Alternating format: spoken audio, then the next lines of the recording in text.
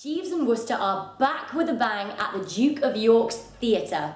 Now, this new adaptation of the pair in The Perfect Nonsense, brought to you by the Goodale Brothers, presents the comedy duo in a way that you might not have seen them before. Matthew Macfadyen plays Jeeves, Stephen Mangan presents Wooster, however, there's a third man in the mix. Mark Hadfield plays Seppings. The three work together to bring a perfect blend of comedy to the stage. Also, the set is extremely surprising. It will have the audience sitting in their seats going, ooh, didn't expect that to happen, which is always fun of the theatre.